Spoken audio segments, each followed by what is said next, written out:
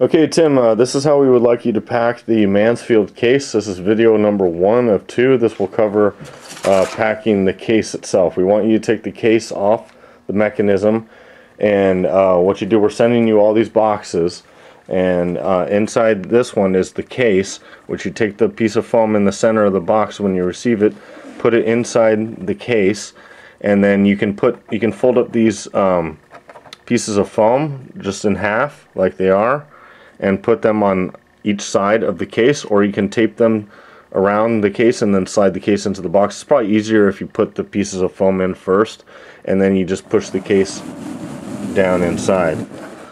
Um, once it's down inside, there's one other piece of foam that you take and place on top of the case and uh, then all you have to do is put the box inside the other box taped up and suspend it with the peanuts that we ship to you. So that's the uh, case without the, the foam. There's the other pieces of the foam.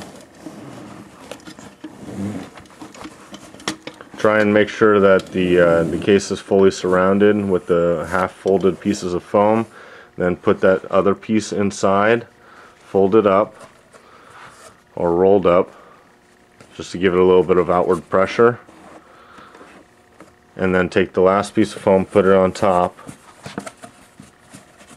fold the flaps over, tape them shut, and take the box and we'll tape, we'll show you right now. Just tape it like that and put the box inside the other box with the peanuts. About four inches of peanuts. About four inches of peanuts on the bonnet, bottom.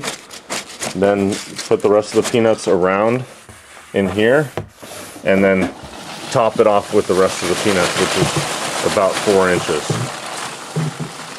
Uh, if you have any questions or comments, please give us a call or message us, and please uh, let us know that you received these videos. They'll be uploaded to YouTube, so you should be able to open them with the link.